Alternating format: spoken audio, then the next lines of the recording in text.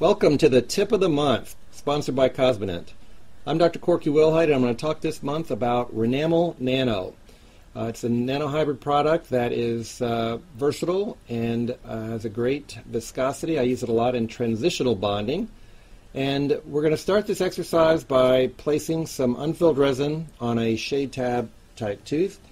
In your practice, of course, you'd be using your traditional adhesive. If you're looking for a really good one, the Cosmedent Complete comes in a packaging that allows you to do fourth generation or fifth generation bonding. Once you've cured the material, then you'll dispense the nano using the compule. And if you notice, I'm holding the tip in a pretty stable location. The material's extruding out of there.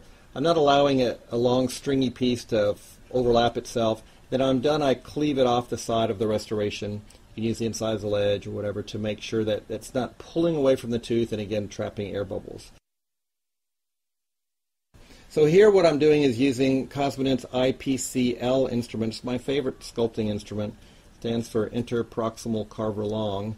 And you can get into tight places with this as well as along the margins, and incisal edges and such to smooth and sculpt that material in a way that um, is effective and primarily to avoid trapping air bubbles.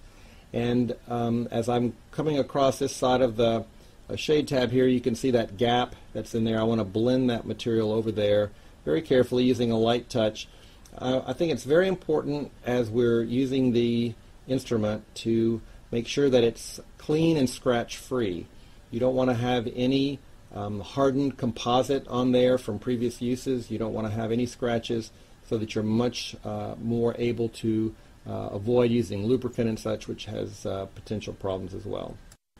As the material is manipulated by sculpting it here, you'll find that it's got a very balanced viscosity.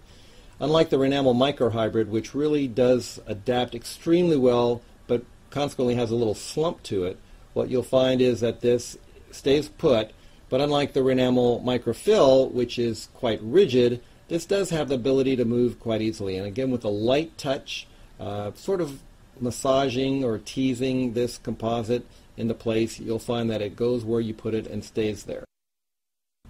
And now for the specific tip of the month regarding avoiding incisal fractures on your composite restorations. As you are sculpting the composite and then contouring it, including adjusting occlusion, it's very important to make sure that your incisal edge is at least one millimeter thick. If it's less than one millimeter thick, you're making that restoration much more likely to fracture even under normal function. One of the important aspects too is of course to use a fracture resistant material like Renamel Nano, a material that not only will handle well but will be unlikely to fracture under normal function. To make sure that your incisal edge is a millimeter thick would do well. The advantage to the Nano is though it is going to polish better.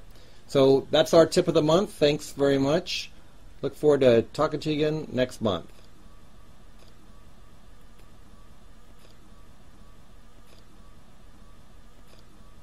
When your first choice is Cosmedent, you're spreading smiles. Big happy smiles. A whole world of smiles.